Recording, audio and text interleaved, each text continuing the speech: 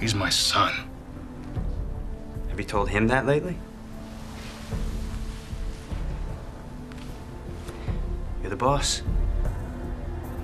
But if you don't mind, I'll skip the family reunion. I got some things to take care of. I'm sure you do.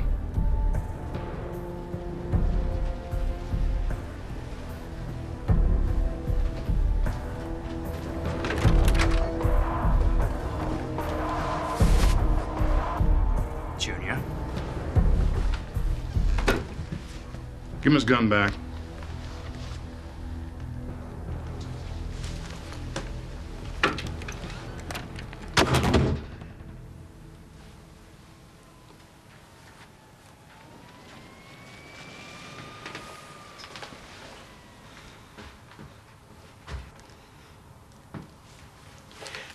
You've changed.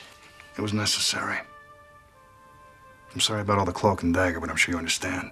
I wasn't even sure that you would agree to come, not without handcuffs and a SWAT team. I came for Mom's sake, not yours.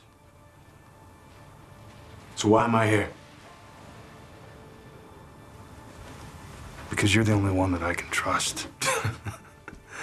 Oh, wow. Wow, you must really be in sad shape. I need your help. Your mother can't take it anymore. She wants me to retire. No, please, she's been begging you to retire for years. Why this time? Because I'm tired of the fight. Really? I'm gonna tell you what. Turn yourself in. Hmm?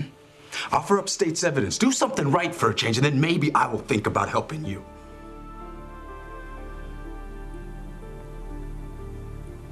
All right, All right, what? I'll do it. You realize witness protection won't happen unless you give up a whole hell of a lot in return. In my line of work, a lot of guys turn Judas. I always hoped that I wouldn't have to, but I guess it's inevitable.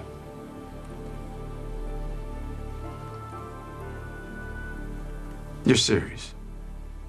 You really want to do this? Want and need are two different things, two very different things.